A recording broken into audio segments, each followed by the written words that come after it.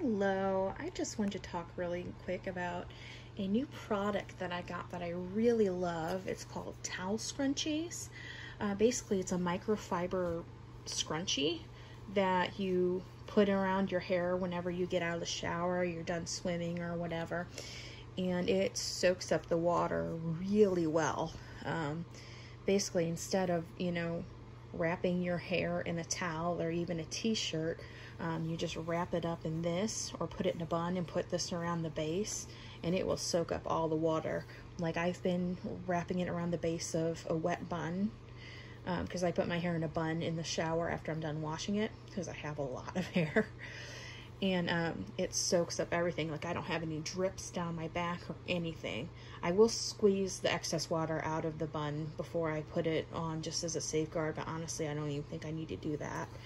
Um, basically, I bought this off of a Facebook ad from the company Kitsch.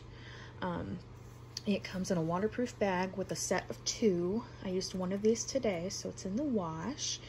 And I still have this one. They're really easy to just, you know, throw in the washer and dry it. Um, just like a regular towel, and it comes out just as good and just as fluffy. And um, it shows on the back, you know, a different way that you can wrap your hair up in it like a messy bun and the way that it absorbs water it speeds drying time. Now the way that I wrap my hair in the bun I wind it so the center of the bun is still kind of damp but the top of my hair and everything else um, I mean it dries pretty fast even the rest of my hair in the bun you know it seems like it dries faster. So this is just a little bit of the information on the back um, and it does help tame frizz and reduce breakage because it's microfiber.